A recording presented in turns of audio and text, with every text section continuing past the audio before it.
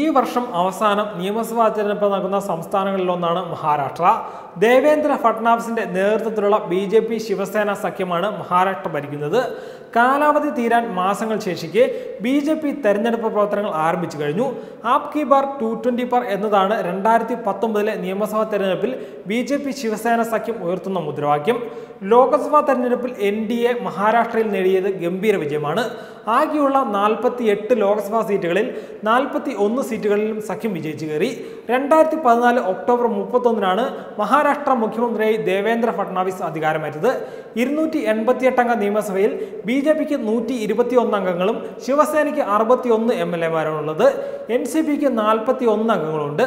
മഹാരാഷ്ട്രയിലെ രണ്ടാമത്തെ ബ്രാഹ്മണ മുഖ്യമന്ത്രിയാണ് ദേവേന്ദ്ര ഫട്നാവിസ് മഹാരാഷ്ട്രയിലെ ആദ്യ ബി ജെ പി മന്ത്രിസഭ കൂടിയാണ് ഫട്നാവിസിന്റേത് ജനസംഘത്തിലൂടെ വന്ന് പിന്നീട് ബി ജെ പി നേതൃനിലയിലേക്ക് ഉയർന്ന ഗംഗാധർ ഫട്നാവിസിന്റെ മകനാണ് Devendra Fadnavis A B V പിയുടെ നേതൃനിരയിൽ ശോഭിച്ച് യുവമോർച്ച സംസ്ഥാന സമിതിയിലെത്തിയ ദേവേന്ദ്ര ഫട്നാവിസ് ഇരുപത്തിരണ്ടാം വയസ്സിൽ നാഗ്പൂർ കോർപ്പറേഷനിൽ കൗൺസിലറായി. ആയിരത്തി തൊള്ളായിരത്തി തൊണ്ണൂറ്റിയേഴിൽ ഇരുപത്തിയേഴാം വയസ്സിൽ കോർപ്പറേഷന്റെ ഏറ്റവും കുറഞ്ഞ മേയറും ആയിരത്തി തൊള്ളായിരത്തി തൊണ്ണൂറ്റിയേഴിൽ ഇരുപത്തിയേഴാം വയസ്സിൽ കോർപ്പറേഷന്റെ ഏറ്റവും പ്രായം കുറഞ്ഞ മേയറായ ഫട്നാവിസ് ആയിരത്തി തൊള്ളായിരത്തി തൊണ്ണൂറ്റി ഒമ്പതിൽ ആദ്യ അംഗത്തിൽ തന്നെ നിയമസഭയിലെത്തി. പ്രത്യേക വിദർഭ സംസ്ഥാനത്തിന്റെ ശക്തനായ വക്താവായ ഫട്നാവിസ് നാഗ്പൂരിൽ നിന്ന് മൂന്ന് തവണ തുടർച്ചയായി നിയമസഭയിലെത്തി. നിലവിൽ നാഗ്പൂർ സൗത്ത് വെസ്റ്റ് മണ്ഡലത്തെയാണ് അദ്ദേഹം പ്രതിദാനം ചെയ്യുന്നത്. ഫട്നാവിസിന് നിയമത്തിൽ ബിരുദവും ബിസിനസ് മാനേജ്മെന്റിൽ ബിരുദാനന്തര ബിരുദവുമുണ്ട്. ആയിരത്തി തൊള്ളായിരത്തി അറുപത് മെയ് ഒന്നിനാണ് മഹാരാഷ്ട്ര സംസ്ഥാനം രൂപീകൃതമായത്. നേരത്തെ ഉണ്ടായിരുന്ന ബോംബെ സംസ്ഥാനം ആയിരത്തി തൊള്ളായിരത്തി അറുപതിലെ ബോംബെ റീഓർഗനൈസേഷൻ ആക്ട് പ്രകാരം മഹാരാഷ്ട്ര ഗുജറാത്ത് എന്നീ രണ്ട് സംസ്ഥാനങ്ങളാക്കി വിഭജിക്കുകയായിരുന്നു. മഹാരാഷ്ട്രയിൽ ബി ജെ പിയും ശിവസേനയുമായി സഖ്യം തുടങ്ങിയിട്ട് കാൽ നൂറ്റാണ്ടിലേറെയായി. വിജയത്തിന്റെ ആലസ്യത്തിൽ വീഴരുതെന്നും അൻപത് ശതമാനത്തിലേറെ വോട്ടുകൾ ലക്ഷ്യമിട്ട് പ്രവർത്തനം ശക്തമാക്കണമെന്നും സംസ്ഥാന ഘടകത്തിന് അമിത്ഷാ നിർദ്ദേശം നൽകി കഴിഞ്ഞു. വിട്ടുവീഴ്ചയില്ലാത്ത പ്രവർത്തനം വേണമെന്നും കർശന നിർദ്ദേശമുണ്ട്. മഹാരാഷ്ട്രയിൽ ബി ജെ പി തെരഞ്ഞെടുപ്പ് മുന്നൊരുക്കങ്ങൾ ആരംഭിച്ചു കഴിഞ്ഞു. ആകെയുള്ള ഇരുന്നൂറ്റി എൺപത്തിയെട്ട് സീറ്റുകളിൽ ബി ജെ പിയും ശിവസേനയും നൂറ്റി മുപ്പത്തഞ്ച് വീതം സീറ്റുകളിൽ മത്സരിക്കാനാണ് സാധ്യത.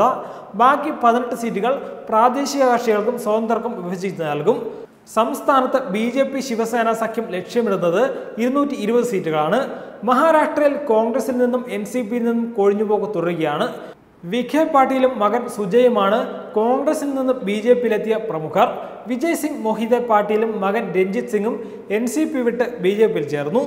മുൻ മന്ത്രി ഗണേശ് നായിക്കും മകൻ സന്ദീപും ആദിവാസി നേതാവ് മധുകർ പിച്ചട്ടും മകൻ വൈഫവും ഇവരുടെ പാത പിന്തുടർന്നു സംസ്ഥാനത്ത് നല്ലൊരു നേതാവ് ഇല്ലാത്തതിന്റെ ക്ഷീണത്തിലാണ് കോൺഗ്രസ്. മഹാരാഷ്ട്ര നവനിർമ്മാൺ സേനയെ ഒപ്പം കൂട്ടാനുള്ള ശ്രമത്തിലാണ് ഇപ്പോൾ ഇവർ മുഖ്യമന്ത്രി ദേവേന്ദ്ര ഫട്നാവിസിന്റെ പ്രതിച്ഛായും തെരഞ്ഞെടുപ്പിൽ ബി ജെ പിക്ക് ഗുണം ചെയ്യും. രാജ്യത്ത് തന്നെ ഏറ്റവും മികച്ച പ്രതിച്ഛായുള്ള മുഖ്യമന്ത്രിയാണ് ദേവേന്ദ്ര ഫട്നാവിസ് ശിവസേനയുമായുള്ള സ്വരച്ചേർച്ചയില്ലാമെ ബി ജെ പി അതിജീവിച്ചത് ഫട്നാവിസിന്റെ ചാണക്യതന്ത്രത്തിലൂടെയാണ്. ഉദ്ധവ് താക്കറെയുടെ നേതൃത്വത്തിൽ ശിവസേനയും തെരഞ്ഞെടുപ്പ് മുന്നൊരുക്കങ്ങളിലാണ് ആയിരത്തി തൊള്ളായിരത്തി എൺപത്തി ഒമ്പതിലാണ് ശിവസേനയും ബി ജെ പിയും മഹാരാഷ്ട്രയിൽ ഒന്നിച്ചണിനിരുന്നത് മൂന്ന് പതിറ്റാണ്ടായി തുടർന്ന ബി ജെ പി ശിവസേന സഖ്യം രണ്ടായിരത്തി പതിനാലിലെ നിയമസഭാ തെരഞ്ഞെടുപ്പിലാണ് ഉലഞ്ഞത് ഇപ്പോൾ പൂർവാധികം ശക്തിയോടെ ഉജ്ജ്വല വിജയം നേടാനുള്ള ശ്രമത്തിലാണ് ബി ജെ പി ശിവസേന സഖ്യം. ദേവേന്ദ്ര ഫട്നാവിസിന്റെ ഭരണ നേട്ടങ്ങളും മഹാരാഷ്ട്രയിൽ അധികാരം നിലനിർത്താൻ ബി ജെ പിക്ക് ഗുണം ചെയ്യും. വെബ് ഡെസ്ക് തത്മൈ ന്യൂസ്.